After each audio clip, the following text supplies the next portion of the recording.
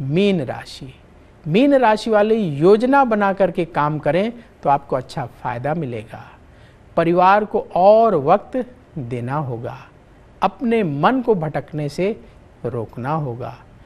क्रोध से आपको बचना होगा। शुभ रंग केसरिया। आज केसरिया रंग की ड्रेस पहनेंगे तो आपका लक और बढ़ जाएगा। उपाय क्या करें? मंगलवार का दिन है, हनुमान चालीसा का पाठ करें। तो हनुमान जी के आशीर्वाद से संकट कटे, मिटे सब पीरा, जो सुमिर हनुमत बलबीरा। तो सारे संकट दूर होंगे और आपकी इच्छा पूर्ण होगी।